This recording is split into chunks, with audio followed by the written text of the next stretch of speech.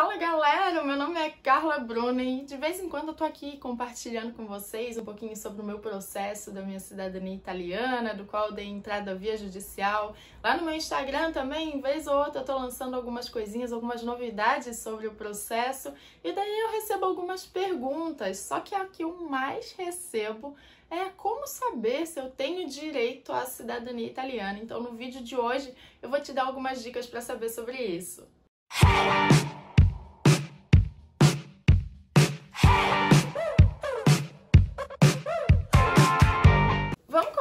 Deixando aquele likezinho maroto para fortalecer o vídeo, fazer ele chegar a mais pessoas aí que têm essa dúvida, estão aí na procura para saber se tem um italiano na família, enfim, deixa o teu like. Falando um pouquinho do meu caso, desde muito pequenininha, eu já sabia que tanto a família do meu pai quanto da minha mãe vieram de origem italiana, principalmente a família da minha mãe, que manteve muitas das tradições. O meu avô falava italiano, os irmãos deles, então muito da tradição italiana acabou se mantendo na família da minha mãe.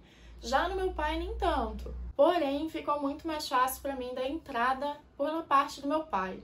E por que, que eu estou citando essa questão de família? Porque muitas vezes você vai conseguir encontrar realmente essa informação através da tua família. Talvez a tua mãe ou teu pai não saiba, teu irmão, mas o teu avô pode saber, o irmão do teu avô, um parente distante. Dizem muito que o ouro está dentro da família, essa informação de ouro.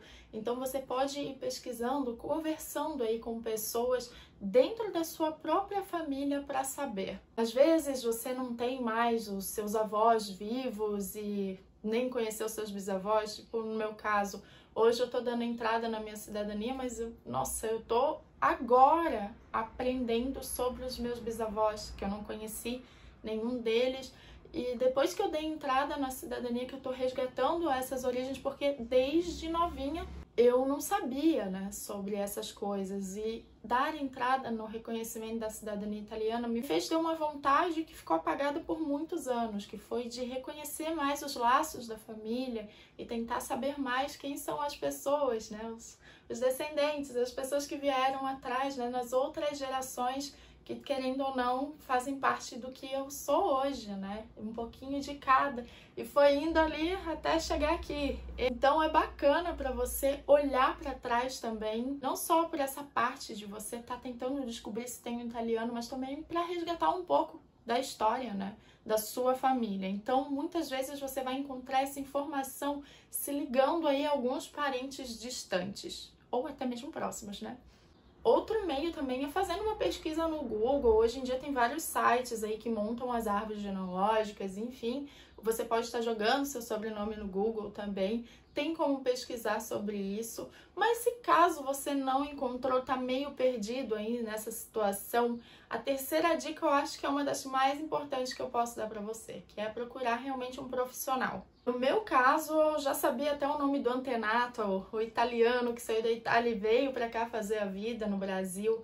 Enfim, eu já cheguei com tudo prontinho já para a agência que eu escolhi com a minha família, que é a Benvenuto Cidadania Italiana. Foi aí quase um ano e meio pesquisando, enfim, eles me passaram muita confiança quanto ao trabalho deles. Eu estou botando a realização desse sonho aí na mãos, nas mãos deles e conversando com eles até mesmo para buscar informações para esse vídeo. Eles me informaram que eles conseguem saber 99% das vezes só pelo sobrenome da pessoa. Então você pode estar entrando em contato com eles lá no Instagram, que eu vou deixar aqui embaixo, e diz: Ah, meu sobrenome é tal, sabe se tem direito de cidadania? E eles vão saber passar certinho para você só pelo sobrenome, se já tem aí como achar, quem sabe, um italiano na sua família através do seu sobrenome.